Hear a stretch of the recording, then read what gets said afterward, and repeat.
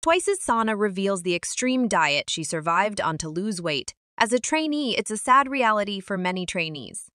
Twice's Sana is beautiful and never fails to shock netizens with her visuals and unreal proportions. Recently, Twice's Sana appeared in a new video with singles Inferno Kim Jin Young.